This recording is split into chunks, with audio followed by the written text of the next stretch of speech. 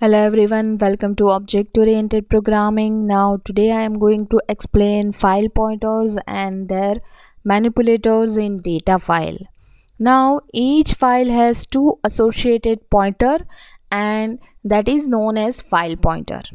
now one of them is called the input pointer and other one is called as output pointer like get pointer and put pointer जो read करने के लिए pointer used होता है और जो write करने के लिए pointer used होता है ठीक है So each and every file has two pointer okay? And we can use this pointer to move through the file while reading or writing. As we all know that input pointer is used for reading the content of the given file location and the output pointer is used for writing to a given file location. And each time an input or output operation take place and the appropriate pointer is automatically advance ठीक है particular जो pointer जो है वो automatically वो move हो जाएगा। जो मोड में हम फ़ाइल ओपन करोगे, वैसे। नाउ पर्टिकुलर यहाँ पे कुछ डिफ़ॉल्ट एक्शन है लाइक जब हम फ़ाइल को ओपन करेंगे रीड करने के लिए, तब पॉइंटर कहाँ होगा? रीड पॉइंटर जब फ़ाइल को एडिट करने के लिए ओपन करेंगे तो पॉइंटर कहाँ होगा? ठीक है तो यहाँ पे कुछ डिफ़ॉल्ट एक्शन है। Like when we open a file in read mode ठीक है? रीड ऑनली मोड देन हमें कौन सा रीडिंग के लिए कौन सा पॉइंटर चाहिए?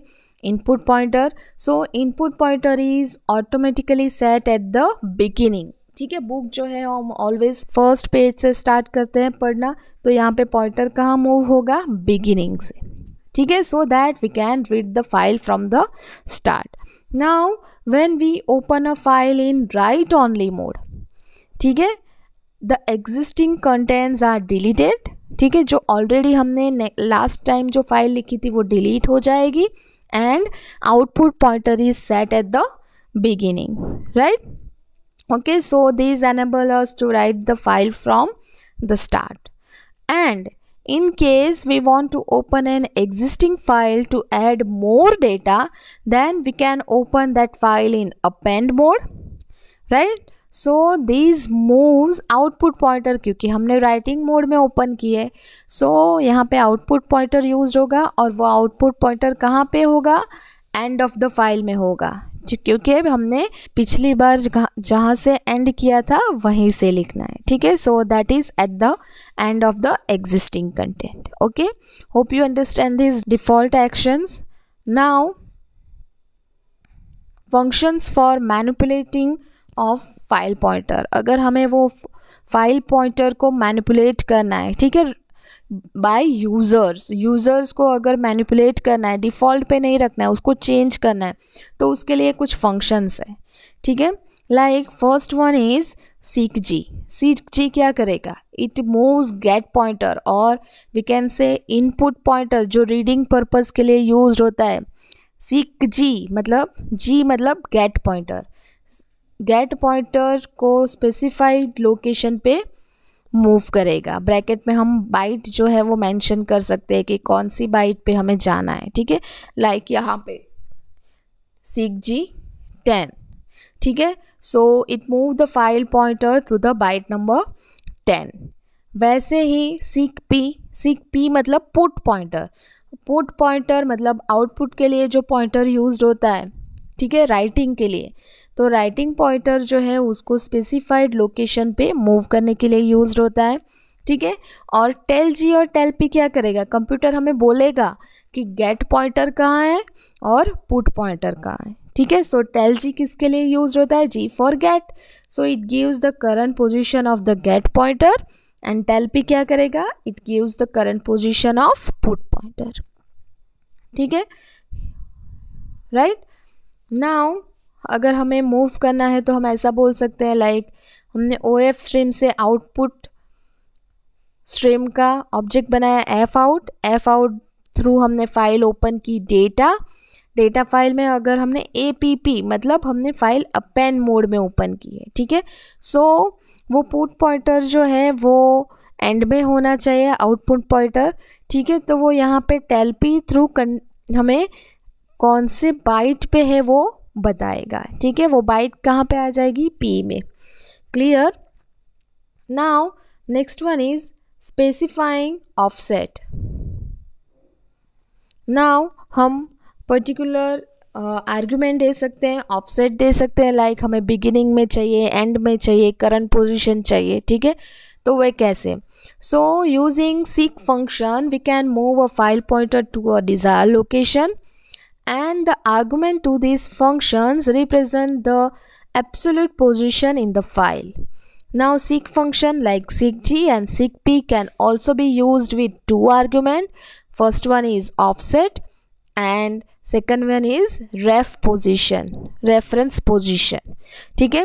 So here offset represent the number of byte the file pointer to be moved from the location specified by the parameter ref position like हमने यहाँ रेफरेंस पोजिशन दिया है लाइक बिगिनिंग करंट पोजिशन और end end से अगर हमने offset particular अगर हमने टेन बाइट दिया है तो रेफरेंस पोजिशन से टेन बाइट मूव करना है। ठीक है? लाइक यहाँ पे रेफ पोजिशन जो है वो थ्री आर्ग्यूमेंट ले सकता है like ios bg it means start of the file ios cur it means current position of the file pointer and ios and it means end of the file ठीक है now seekg function move the associate flags get pointer while seekp function move the associate files put pointer ठीक है seek g and seek p दो function के लिए है तो g is use for get pointer and p is use for put pointer like यहाँ पे offset जो है वो मेंशन किए हैं। Like c f out seek g zero i o s beginning it means go to the start then current it means state the current position यहाँ पे zero लिखा है इट मीन्स कहीं पे आगे भी मूव नहीं करना है, पीछे भी मूव नहीं करना है। ज़ीरो जहाँ करंट है, वही रहना है। एंड मतलब go to the end of the file ठीक है?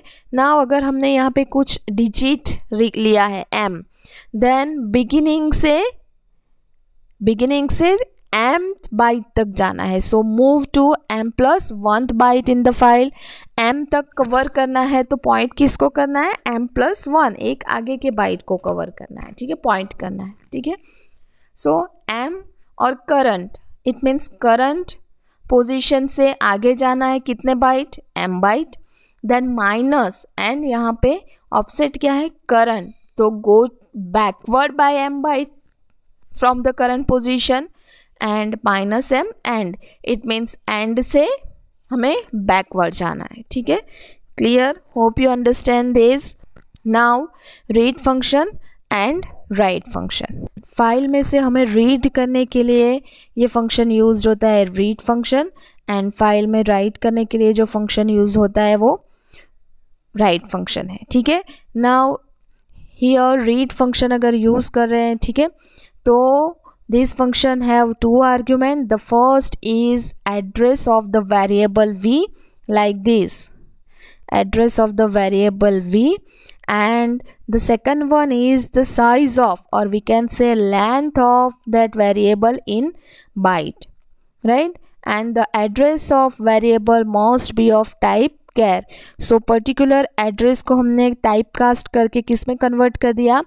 Character में यहाँ पे। ब्रैकेट में क्या लिखा है? कैरेक्टर में। ठीक है तो दोनों फ़ंक्शन में हमें कैरेक्टर में कन्वर्ट पड़े, करना पड़ेगा। एड्रेस ऑफ़ वी ना what do mean by v v is a one variable ठीक है जहाँ पे हम वैल्यू फ़ाइल में से रीड करेंगे वो वेरिएबल है। ठीक है? अब रीड एंड राइट फ़ंक्शंस के प्रैक्टिकल आएगा, ठीक है? प्रैक्टिकल में ये दोनों फ़ंक्शन ज़्यादा समझ में आएगा, ठीक है? Hope you understand today if you have any query regarding this then you can tell me thank you